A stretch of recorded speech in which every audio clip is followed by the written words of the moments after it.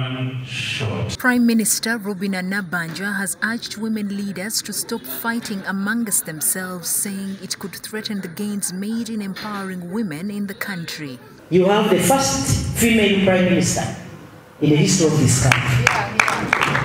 But is this first prime minister helping you? Is this first prime minister helping us? If I'm not, you are to blame.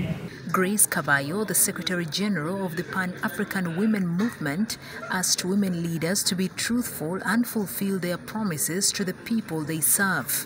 That the infights, the pull down syndrome is destroying the women's struggle.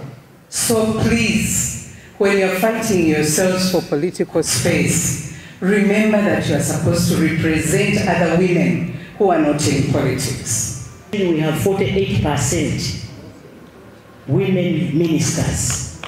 48% is a big achievement. I think in the whole world, Uganda is counted.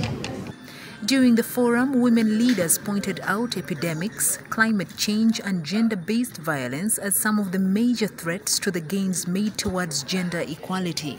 The leadership of this country should be here, should be part. We should, see the, we should not only see the political, see the religious, the traditional, the different professions, teachers, health, women leaders in the different professions. Let there be a circular or a protocol for this day. Let's not take things for granted.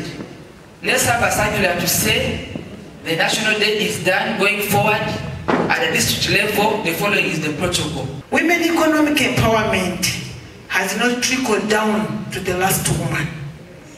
The information is not well captured.